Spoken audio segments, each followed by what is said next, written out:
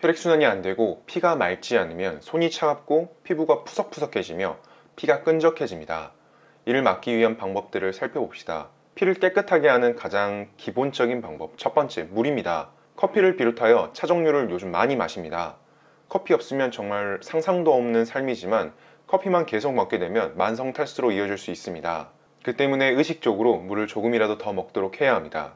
요즘에는 꼭 2리터를 먹지 않아도 된다고 하지만 그래도 조금이라도 드셔주시는 게 좋습니다. 커피의 카페인은 몸속에 물을 배출시키고 차 또한 몸속에 물을 배출시킵니다. 이러한 이뇨작용 때문에 몸속에 수분이 부족해지면 피부가 푸석해짐과 동시에 혈액이 끈적끈적해질 가능성이 굉장히 높습니다. 두 번째로 오메가3. 오메가3의 경우 중성지방을 낮춰주는 작용을 합니다. 혈관을 막고 피에 끈적끈적한 성분들은 대부분 지방들입니다. 오메가3는 중성지방을 낮춰 혈관의 지방이 축적되는 것을 막아줍니다. 또한 염증으로 인해 혈관이 석회화되는 것을 막아주는 작용이 있기에 무엇보다도 먼저 시작해야 하는 영양제입니다. 오메가3의 중요한 부분은 좋은 오메가3, 좋은 기름을 먹는 것도 중요하지만 용량이 중요합니다. EPA와 DHA 합으로 2000mg 이상 먹어야 합니다. 이보다 적은 양을 먹게 되면 효용 가치가 애매해집니다. 용량을 꼭 챙기셔야 합니다. 세 번째, 은행잎 추출물입니다. 혈액순환제의 대표적으로 타나민, 기내식 등 우리나라에서도 쉽게 섭취할 수가 있습니다. 특히 머리 위로 혈액순환을 잘 시켜주어 치매 예방을 위해 사용하기도 하고 이명 환자, 어지럼증 환자에게도 사용합니다. 머리 혈관이 엄청 얇기 때문에 다른 혈액순환제들은 머리 위쪽 혈액순환이 약합니다. 은행잎은 머리 혈액순환을 담당하는 강력한 혈액순환제라고 생각하시면 됩니다. 네 번째, 강력한 항산화제인 포도씨 추출물과 피크노제놀, 혈관을 튼튼하게 하여 도움을 줍니다. 포도씨 추출물은 우리나라에서 엔테론이라는 이름으로 이미 전문약으로 나와 있으며 영양제로도 쉽게 만날 수 있습니다. 망막질환, 눈 질환을 비롯하여 림프 혈액순환까지 도와주는 영양제입니다. 피코노제놀은 전 세계적으로 유명한 혈액순환제이자 항산화제로 혈관을 비롯하여 당뇨, 여성질환, 갱년기에도 포괄적으로 사용됩니다. 포도씨 추출물과 피코노제놀은 같은 계열이지만 세부 성분이 달라 포도씨에서 효과를 못 본 분들에게 주로 추천드리고 있습니다. 피크노제놀은 꽤나 고가임에도 불구하고 피드백이 굉장히 좋은 영양제입니다. 마지막으로 다리 쪽 혈액순환을 도와주는 영양제들입니다. 우리 몸속에 혈액을 가장 많이 보관하고 있는 것은 바로 하체, 정맥입니다. 아래로 간 혈액은 위로 올라오기가 힘듭니다. 이 때문에 압박 스타킹과 같은 물리적인 도움을 받기도 합니다. 물과 오메가3로 피를 맑게 해주고 은행잎, 포도씨 추출물과 피크노제놀로 아래서부터 피를 올려주고 올라온 혈액을 머리 위로 올려주면서 전체적인 선순환을 가져옵니다. 다리 혈액순환제는 총 5가지를 써놨지만 추천드리는 것은 빨간 박스 이 3가지 정도입니다. 센시아하고 포도잎인 안티스탁스는 유명합니다. 하지만 제 경험상 피드백이 광고에 비하면 좋지가 않습니다.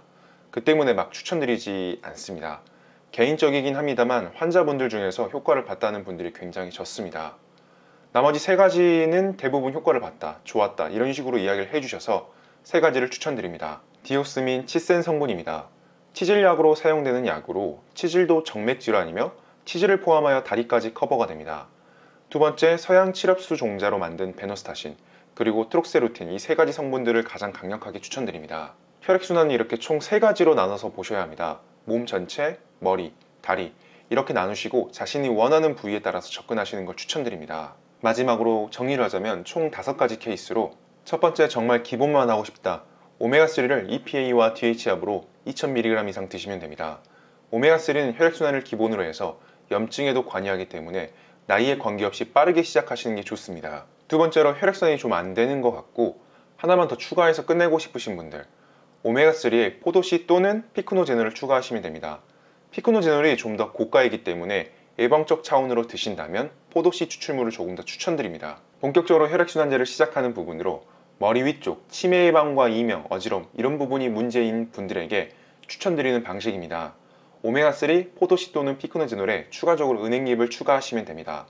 특히 이명과 어지러움이 있으시다면 마그네슘과 아연을 추가적으로 챙기시면 시너지 효과가 있습니다. 네 번째는 혈액순환, 다리가 안 되는 분들로 하지정맥류와 다리가 붓는 분들에게 추천하는 방식입니다. 오메가3를 기본으로 포도씨 또는 피크노제놀에 다리 카테고리에서 한 개를 가져오시면 됩니다. 한 개를 딱 고른다 추천할 때는 베노스타신이 가장 피드백이 좋아서 개인적으로 베노스타신을 추천드립니다. 개인차가 큰 항목이라 한 개가 안 맞으면 다른 약으로 넘어가시면 됩니다. 마지막으로 전체 카테고리에서 한 개씩 들어가는 것으로 저렇게 먹었음에도 불구하고 혈액순환이 해결이 안 된다고 느껴지는 경우에는 각 카테고리를 한 개씩 추가하는 방식으로 가져가시면 됩니다. 여기까지 넘어온 경우 꼭 병원을 방문하셔서 별일 없는지 보셔야 하며 근육량 자체가 부족한 분들이 많아서 근력 운동을 꼭 병행하시는 게 좋습니다. 오늘은 혈액순환, 피를 맑게 하는 법에 대해서 알아보았습니다. 혈액순환이 잘 안 되면 몸 전체적으로 문제가 발생합니다. 날이 추워지는 만큼 수족냉증으로 고통받는 분들도 많으니 조금이라도 도움이 되셨으면 합니다. 감사합니다.